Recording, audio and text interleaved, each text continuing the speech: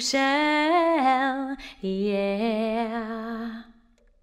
One happy birthday dot com.